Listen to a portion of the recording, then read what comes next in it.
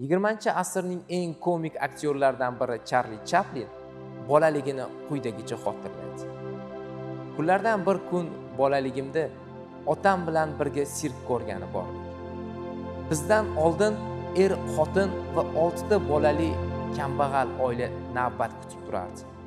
Ularning usti boshi eskirgan lekin ozoda bolalar sirk haqida tinimsiz zavqlanib suhbatlashardi.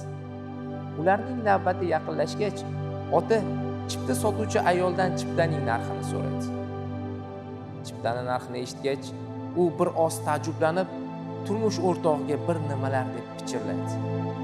Otaning xavotiri shundoqqina sezilib turardi shunda otam cho'ntagidan yigirma dollarni olib yerga tashladi va uni olib kechirasiz janob sizning pulingiz tushib qoldi deb haligi insonga beradi.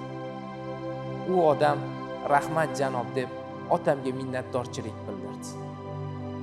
Ular sirkka kirishdi. Biz esa sirkka kira olmadik sababi o'sha kuni otamning yigirma dollardan boshqa puli yo'q edi. Uyga kelib otamning qilgan ishini uzoq o'yladim va shu kundan boshlab otam bilan faxrlanadigan bo'ldim.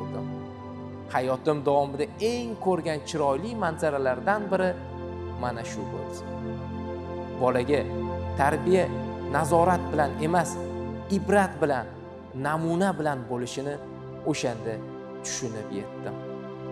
Charli chaplin.